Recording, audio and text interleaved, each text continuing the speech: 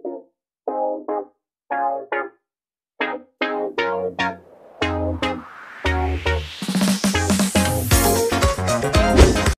guys! Good afternoon. It's me again, Jepoy. So ngayong, ga, ngayong hapon na to, samahan niyo ako. So pupunta tayo ng sementeryo and at the same time, itour ko kayo sa downtown.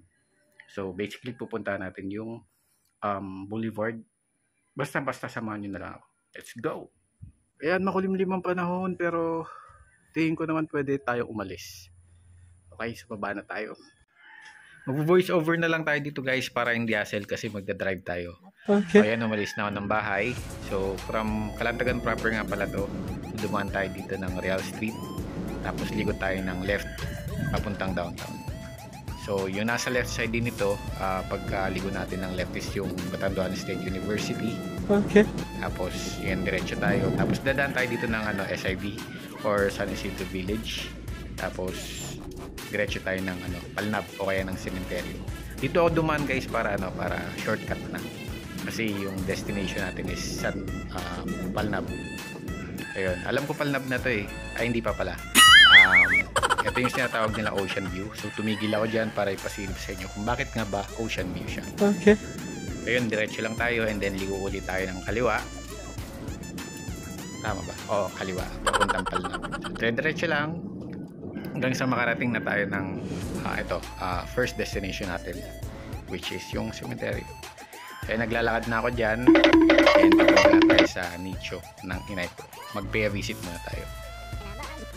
Ayan, nandito na tayo. So, may nakita pa ako dyan ng kalaban, Roger. As usual. Ayan, ayan ang nanay ko. Tapos, napakita ko din sa inyo yung ano, yung pedigree ko. Ayan, yung lineage ko.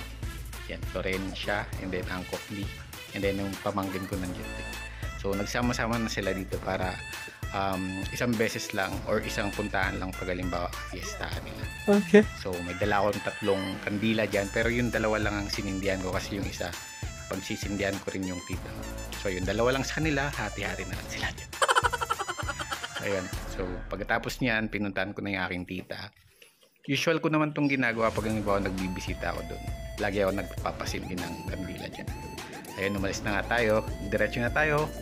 Tutur ko na kayo sa boulevard. So dito ako dumaan sa passage na to para shortcut tsaka mapakita ko sa inyo yung bago dito. Kaso nga lang may land turbulence dyan. Ayun nga. Nahulog. So mag-start na tayo dito. So eto na-amaze ako kasi hindi ko expect na magkakaroon ng ganito dito. Na ma, ma, mai-improve nila to. So, parang kinonect na yung Palnab to um, San Juan or Conception. Ayan. Ayan. Uh, guys, disclaimer lang nga, hindi ito overspeeding. Uh, fast forwarded lang to. Kasi ayoko naman na sobrang tagal. Ayan. So, dinaanan natin dyan yung mga barangay like um, Concepcion, San Juan, San Pablo, tapos uh, Salvacion. Ayan, dire-diretso. Ayan, tumigil ako dito para may pakita ko sa inyo yung um, lugar extended na to kasi alam ko extended extended na talaga to. itong uh, um, lugar na to kasi dati dito yan sa ano sa medyo medyo maliit to dati pero ngayon medyo widen na siya or widen so yan nandito na tayo sa Salvation natin to. tapos dito sa Salvation guys um, nakakabilib kasi ang laki na improvement. Ang dami ng uh, food establishments dyan. So diretso lang tayo papunta pa lang tayo dun sa ano sa um, hindi ko alam San Vicente na ata yun. Basta okay. ang laki na improvement na nangyari dito kasi nagawa nila to ng paraan para magkaroon ng passage dito sa gilid ng dagat. Ayan pinapakita ko lang sa inyo yung lugar at saka yung naging progress nga dito. Hindi ko nga ina-expect na magkakaroon ng ganito dito guys tulad ng sabi ko. So yun pinakita ko sa inyo kung saan pa tayo pupunta. So may nakita pa tayong dalawang tulay dyan. So pupuntahan natin yun. Ang alam ko dati hanggang dito lang eh. Tapos wala na yan sarado na yan. Or dead end na. Okay. pero look at this now. Diba siguro ang ganda-ganda nito dito pag gabi tapos maraming ilaw maganda ganda ang laki ng improvement so ayan pinakita ko sa inyo so from time to time tumitigil ako para ipakita ko din sa inyo yung view. Pero sana nasusundan nyo kahit uh, fast forward dito. Ayan. Hindi ko alam kung ano yan. Siguro ano yan, um, hindi ko alam yung purpose niyan pero sa tingin ko parang parang artificial coral ba yun? Coral reef. O baka ano lang, baka pananggalang lang yan sa ano sa waves.